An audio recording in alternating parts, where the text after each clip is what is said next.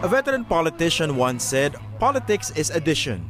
And in a tight four-cornered fight such as the upcoming elections, presidential candidates will surely need all the help they can get. That's how the Liberal Party apparently justifies its alliance with Pampanga Governor Lilia Pineda, whose husband is a suspected gambling lord. But former Isabela Governor Grace Padaca believes there should be boundaries to political alliances, especially for candidates campaigning from a moral high ground that is daang matuwid. Padaca questions administration candidate Maroas's decision to join forces not only with the Pinedas in Pampanga but also with the D family in Isabela.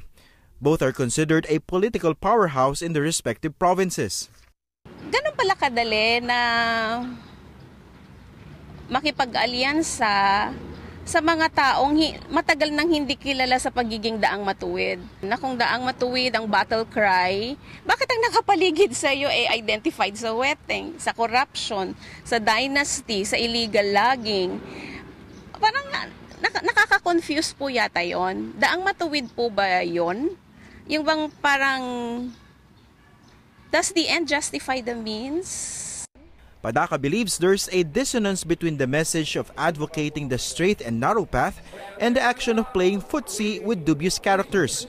But LP leaders say they just want to be inclusive.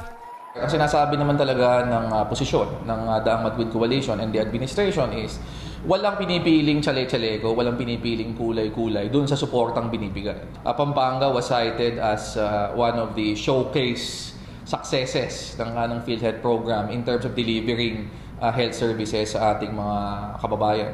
So when she declared her intention to actually support yung uh, coalition, hindi naman namin na uh, tinanggihan.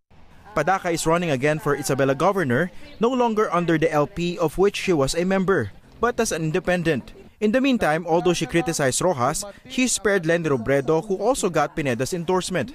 Robredo's late husband, Interior Secretary Jesse Robredo, campaigned against the illegal numbers game. But Padaca believes Robredo had nothing to do with Rosas' decision to strike questionable political alliances with the likes of Pineda. And I am sure, quite sure na hindi si Lenny ang nakipagnegosasyon sa mga D. okay, hindi si Lenny ang nakipagnegosasyon sa mga Pineda. And that to her was Politics 101.